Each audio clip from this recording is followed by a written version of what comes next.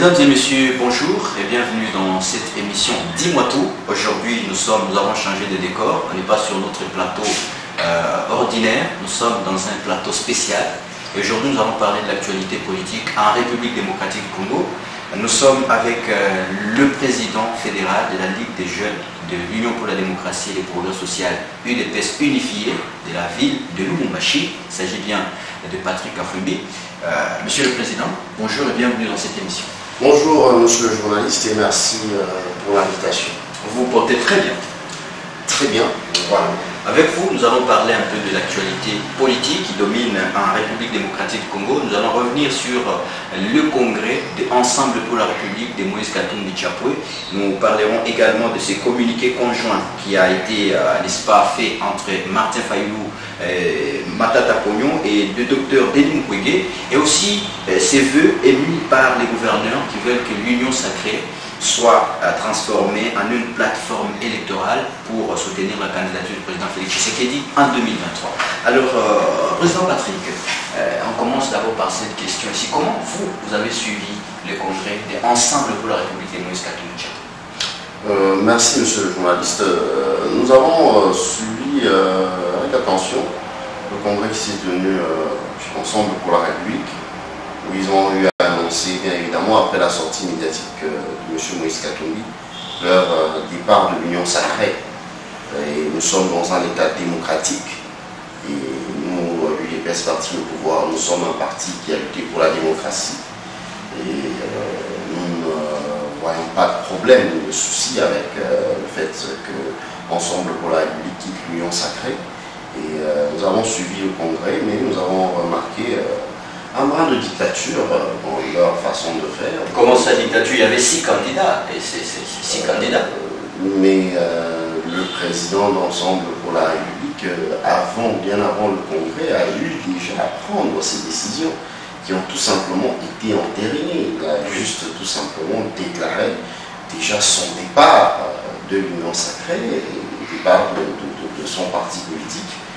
Tout, ce- tout cela n'a été que entériné au niveau euh, du congrès où on a fabriqué euh, des candidats qui se sont désistés en lieu et place d'aller euh, aux élections avec le candidat Katumbi. C'est ça qui est tout à fait aussi regrettable pour un parti qui aspire à diriger ce pays démocratiquement. Déjà, au sein du parti N'est pas démocratie, nous avons suivi Maître Onimba, si Oui. je ne m'abuse, qui a décrié cela. Il est membre d'Ensemble pour la République. Tout à fait. Il n'est pas de l'UDPS, il a décrié euh, cette façon de faire les choses. Voilà, alors euh, là c'est sur euh, le plan forme. Maintenant sur le plan fond, Moïse Katumbi a quand même accusé ce, ce- ce régime, le régime du président Félix Tshisekedi, d'être incapable de venir, n'est-ce pas, aux problèmes qui minent actuellement la société congolaise. Non, mais pas du tout, pas du tout, euh, Monsieur Moïse. Ce n'est pas une bonne façon de faire les choses. Si vous aspirez à la magistrature suprême, faites-le bien. Faites-le euh, d'une manière euh, correcte, d'une manière sincère, pas en voulant euh, fomenter des faux arguments pour salir l'autre. En quoi est-ce que le régime de Félix Antoine Tshisekedi Tshilombo a échoué, comme il le dit euh, c'est- Le bilan est chaotique selon lui. bilan chaotique avec lui. Si le bilan est chaotique, c'est avec lui. Il a géré, il a vu ça le ministère au sein du gouvernement national.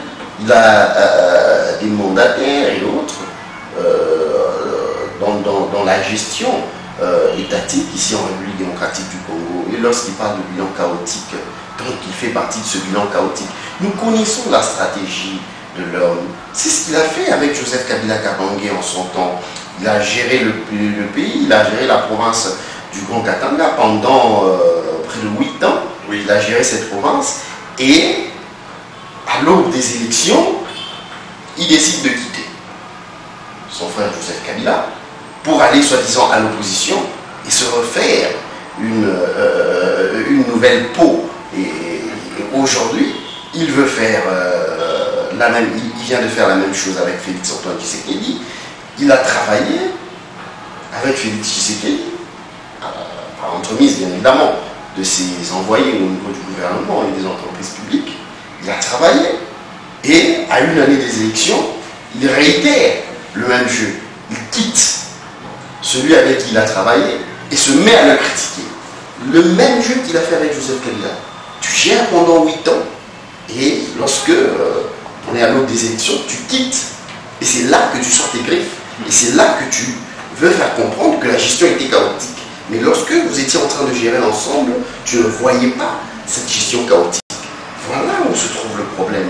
Et même lorsqu'il parle de gestion chaotique, de quelle gestion chaotique il parle? Lui, il a géré avec Joseph Kabila. Ils ont été capables de produire un budget de combien dans ce pays Il dit quand même qu'il a été un bon gouverneur. Vous avez des preuves Un bon gouverneur Un bon gouverneur Oui. Il a construit des routes. Non, mais même monsieur, monsieur Jules, nous savons très bien, nous savons très bien que euh, le Grand Katanga, euh, euh, dans son ensemble, est le plus grand contributeur au budget national. Tout à fait. Que ça soit du temps de Joseph Kabila, que ça soit du temps de Félix Tshisekedi. Tout à fait. À son époque, à lui, M. Moïse Katumbi, le Grand Katanga contribuait à hauteur de combien? On était incapable au niveau national d'atteindre 4 milliards de dollars de budget. Félix Tshisekedi arrive et on a un budget de 16 milliards, grâce notamment au Grand Katanga avec euh, les, différents gouverneurs, parmi lesquels celui du Haut-Katanga, M. Jacques Kaboulaka, qui a d'ailleurs été plébiscité meilleur gouverneur. Bien évidemment. Aujourd'hui, nous avons euh, M. Moïse Katumbi qui veut nous montrer que lui, il est meilleur gestionnaire euh, que Philippe Tshisekedi. Gérer une province, il ne vaut pas gérer tout un pays. Gérer le Katanga n'est pas synonyme de gérer la République démocratique du Congo. Philippe Tshisekedi en a fait beaucoup pour notre pays. Lui, Moïse Katumbi, qui a géré cette province en son temps, la gratuité de l'enseignement a été constitutionnelle. Pourquoi ils ne l'ont jamais appliqué? Philippe Tshisekedi arrive au pouvoir, il applique la gratuité euh, euh, euh, de l'enseignement. Eux qui ont géré ce, pays pendant plus de 8 ans, nous avons notre armée qui n'avait qu'un budget de 200 millions. Félix Tshisekedi arrive au pouvoir? Nous avons la loi sur la programmation militaire. Nous avons un budget de près de 1 milliard 600 millions de dollars pour notre armée. Et on, vient de se battre pendant que eux géraient ce pays. La République démocratique du Congo était sous embargo militaire. La République démocratique du Congo était sous le régime de notification. On était incapable d'acquérir l'armement nécessaire pour sécuriser notre pays. Félix Tshisekedi arrive au pouvoir et cet embargo-là militaire est levé. Le Rwanda est condamné par toute la communauté internationale pendant que Moïse Katumbi était incapable sur le plateau de France 24 de condamner ouvertement Paul Kagame ainsi que le Rwanda. Et aujourd'hui, la communauté internationale condamne le Rwanda ainsi que Paul Kagame. Et on traite Félix Tshisekedi d'incompétent et on traite Félix Tshisekedi d'incapable de, de, régler les choses. Aujourd'hui, le M23 est dos contre mur. Ils ont décidé de quitter, d'abandonner les positions qu'ils ont eu à, occuper par le passé. Et on dit que Félix Tshisekedi est un incompétent. Monsieur le journaliste, soyons tout à fait euh, cohérents. Monsieur Maurice Katumbi n'a aucun argument à présenter contre le président de la République, Félix Tshisekedi, en 2023. Est-ce que ça, ce sont des échappatoires pour couvrir une défaite électorale en vue Est-ce qu'en âme et conscience, l'Union pour la démocratie et les progrès sociaux, UDPS, a peur de Moïse Katumbi Pas du tout. Monsieur Moïse Katumbi était en exil lorsque nous nous avons pris le pouvoir. Il n'avait pas le droit de fouler ses pieds ici au Congo. On lui avait arraché ses pièces d'identité. Puis lorsque Félix Antoine y arrive, parmi les premières choses qu'il fait, il remet le passeport à Moïse Katumbi et lui demande de rentrer au Congo. Vous avez déjà la réponse. Nous n'avons pas peur du candidat Moïse Katumbi. Voilà. Alors, euh, vous avez compris, mesdames et messieurs, euh, l'Union pour la démocratie et les progrès sociaux n'a pas peur de Moïse Katumbi. Moïse Katumbi, qui, a, d'ailleurs, hein, n'est-ce pas, a dit qu'il est ce candidat-là qui va transformer la vie des Congolais. A, il a quand même mal de voir qu'il y a une classe de privilégiés et une classe de moins privilégiés. Et lui, il va transformer ça. Lui, quand il a été gouverneur, il a, il a laissé quelle classe de, classes moyennes ici? Non, mais on dit que. Euh, il n'a laissé aucune classe aux entreprises minières de bien payer les travailleurs congolais ça, quand il est arrivé. C'est tout à fait normal, c'est une obligation. Oui. C'est une obligation, c'est tout à fait normal en tant que gouverneur qui dit il a laissé quelle classe moyenne? Le pauvre Congolais, la pauvre femme euh, euh, rurale qui produisait du charbon le pauvre monsieur qui produisait des briques a vu M. Moïse Katumbi entrer dans son secteur, produire les briques, produire euh, même, les bilanga, les lingalinga, nos, nos légumes ici, ouvrir même des salons de coiffure, au détriment de la pauvre population. Et vous pensez qu'un capitaliste comme ça est capable de vous laisser une classe moyenne Oui. Non, mais pas du tout. Et ce que nous avons vécu ici en province, vous voulez nationaliser cela? Vous voulez mettre à la tête de ce pays quelqu'un qui va même prendre la place de vous, journalistes. Mais euh, il donne il donne l'exemple d'un Congolais qui doit travailler. Dans tous les secteurs, lui, il va récupérer tous les secteurs. Oui. Et nous n'aurons plus rien à faire ici au Congo parce que lui, il va tout récupérer. Lui sera un président commerçant. Lui, c'est ça sa spécialité. Politique, c'est pas son truc. Vous voulez donner la politique, la gestion de ce pays. Vous allez voir les réalités, vous allez voir les retombées. Les gens vont pleurer ici. Si vous n'étiez pas dans le secteur du business, demandez aux businessmen. Ils vont vous dire comment ils ont eu à pleurer. Ils vont vous dire comment il y avait un monopole qui a été établi par euh, euh, le président de l'ensemble pour la République. Et c'est ça que nous ne voulons pas pour notre pays. Voilà, alors on va enchaîner directement avec euh, notre sujet. Euh, c'est les sujets qui concernent cette déclaration commune euh, faite euh, le lundi dernier par trois personnalités politiques de la société civile. Il s'agit bien de Mukwege, le docteur Denis Mukwege. Il s'agit également de Matata Ponyo Mapon, le sénateur, et aussi Martin Fayou Madidi, ancien candidat malheureux à l'élection de 2018. Comment vous avez trouvé ces communiqués-là? Monsieur le journaliste, ce n'est même pas un communiqué, ça n'en vaut même pas la peine, ce document-là qu'ils ont eu à produire. Plein de haine, de manque de considération à l'endroit du président. Un document teinté de haine et dont l'objectif est de dédouaner M. Augustin Matata Ponyo. Oui. Quelqu'un qui a détourné des millions, des millions. Où en sommes-nous avec le projet Bukangaloso Le dossier aérianisation, où en sommes-nous? Tous ces millions-là qui ont été détournés. Aujourd'hui, la justice veut récupérer cet argent-là. Et vous, rapidité, en vous déclarant candidat à la présidentielle, et lorsque on va vous demander de retourner cet argent-là, on va vous demander de répondre devant la justice, on va crier à l'acharnement. Mais pas du tout. Pas du tout. L'opposition n'est pas une blanchisserie. L'opposition n'est pas une blanchisserie pour les gens qui ont volé des millions dans ce pays et qui doivent répondre, remettre cet argent-là. Et on veut euh, les dédouaner dans ce document-là. On veut les protéger. Mais pas du tout. Monsieur Martin Fayoulou m'a dit, candidat malheureux à la présidentielle 2018. Tout à fait. Mais, euh, il va continuer avec sa vérité des urnes jusqu'à quand, monsieur le Non, il a déjà abandonné ça. Il a déjà abandonné, maintenant c'est quatre. Maintenant, cap vers 2023, grâce à Félix Tshisekedi, qui organise des élections dans les temps, qui organise des élections sans aucun retard, tel que le calendrier électoral le prévoit. Oui. C'est grâce à Félix Tshisekedi. Martin Fayoulou m'a dit critique la gestion de Tshisekedi. Qu'est-ce que lui est capable de faire? Monsieur le journaliste, gérer un hôtel n'est pas synonyme de gérer toute la République. On doit faire la part des choses. Mais c'est dans les petites choses, quand on est fidèle dans des petites choses, même dans des grandes. Ça, c'est la Bible même qui Mais qu'on ne, on ne f- cherche pas à se comparer à un bœuf, on, ris- on risque d'exploser. Tshisekedi a fait beaucoup pour ce pays qui a été géré pendant plusieurs années par notre frère Joseph Kabila Kabange. Tout à fait. Que nous reconnaissons bien évidemment la passation civilisée du pouvoir en 2018, passation pacifique. D'ailleurs, j'aimerais rappeler à ceux qui, qui- cherchent, qui à embrouiller l'ancien président Joseph Kabila de le laisser se reposer en paix. Il a- nous a permis d'avoir une passation civilisée. Félix Tshisekedi fera de même après son deuxième mandat. Donc laissons le pays euh, avancer sur euh, euh, des bonnes bases. Docteur Denis Mukwege, Oui, le réparateur des femmes. le réparateur des femmes. Il a beaucoup fait pour ce pays. Ça, vous reconnaissez. Je le reconnais. Il a beaucoup fait pour ce pays. La nation lui est reconnaissante. D'ailleurs, il a eu le prix Nobel, le docteur Denis Mukwege. Ce qui est regrettable, c'est qu'est-ce qu'il vient faire en politique? Il vient s'embrouiller. Il cherche à se salir pour rien.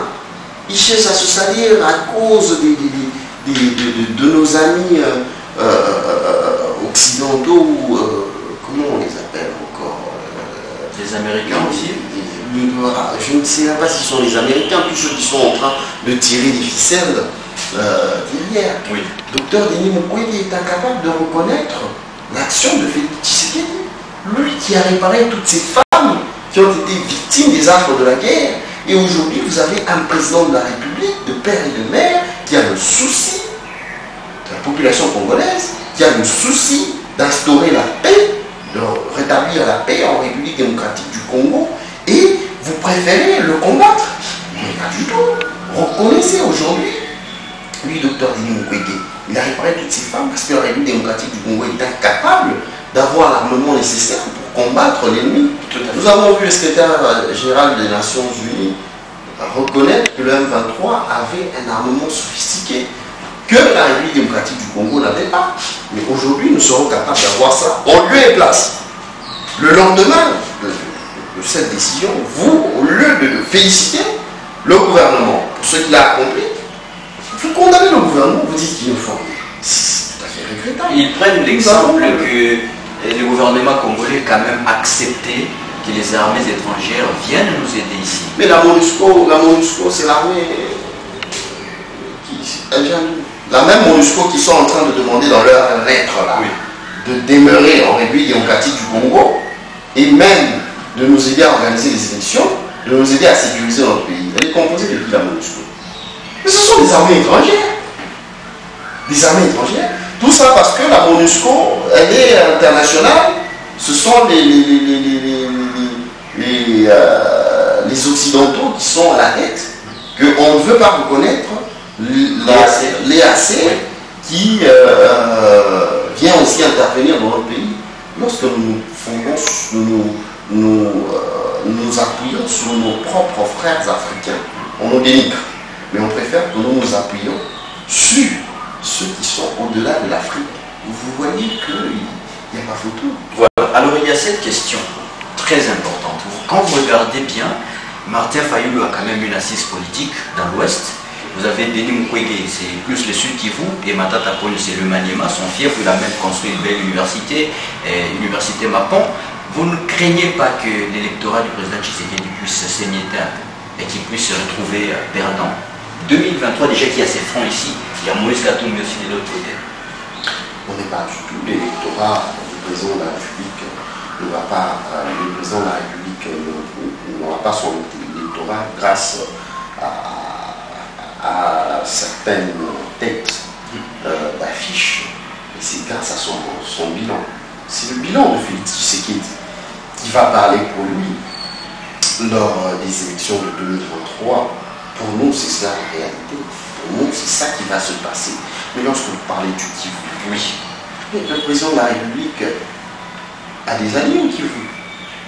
Vous avez euh, le sénateur Modeste Kuebo, qui, euh, avec son FDCA, est la plus grande force euh, au sein de l'Assemblée nationale.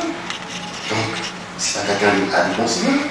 Nous avons Vital Caméré, qui est l'allié euh, de première heure. Qui réclame aussi le respect de l'accord de Nairobi. Il hein. ne faut pas oublier avec Billy Kambale. Quand est-ce qu'il a fait ça? C'est Billy Kambale, qui était d'ailleurs... C'est quelqu'un d'âge. C'est quelqu'un d'âge, oui. tout simplement. Vital Kamere, qui soutient le président de la République, Kivu. Au Maniema, vous me parlez de Matata Il a construit son université avec l'argent de qui alors, avec la, il a, travaillé en tant qu'il fut ministre des Finances, il fut avec l'argent, avec l'argent dans les institutions internationales. Les institutions internationales, c'est là où il a gagné des millions pour aller construire cette université à standard moderne. il est dit Soyons concrets, oui, soyons concrets. Dans le maniement, c'est le bilan du président de la République qui va, qui va, parler, euh, qui va parler pour lui. il n'y a pas un leader là-bas qui va porter sa candidature. Oui il va faire sa campagne même, il va descendre sur place. Puis qui a fait le tour du pays en 2018, il fera encore le tour du pays lors de la campagne électorale. Et ses actions vont parler pour lui lors de, la campagne électorale. Dans le Katanga, oui, je battrai la campagne du chef de l'État. Vous allez battre la campagne Je vais battre la campagne du chef de l'État en tant que Je vais battre la campagne du chef de l'État, même si Moïse Katumbi n'est pas plus avec nous. Je suis là. Et faire gagner le chef de l'État dans le Katanga. Effectivement. Voilà. Alors on va prendre le dernier sujet, c'est l'union sacrée. Euh, les gouverneurs, après la conférence des gouverneurs, ils ont émis le vœu de voir l'union sacrée s'est transformée en une plateforme électorale pour euh, faire élire le chef de l'État pour un deuxième mandat. Une bonne chose pour vous? Euh, Les gouverneurs ont, demandé à ce que l'union sacrée se, mette en plateforme électorale. L'union sacrée, c'est la vision du chef de l'État. C'est le chef de l'État qui en est l'initiateur si l'Union sacrée doit se mettre en plateforme euh, électorale, je pense que c'est le chef de l'État qui devra en décider ainsi. Il est le seul patron de l'Union sacrée, il est le seul contrôle de l'Union sacrée, il est le seul qui doit décider de l'issue de l'Union sacrée. Mais nous, l'Union pour la démocratie et le progrès social, notre combat, c'est d'obtenir la majorité parlementaire au sein de l'Assemblée nationale.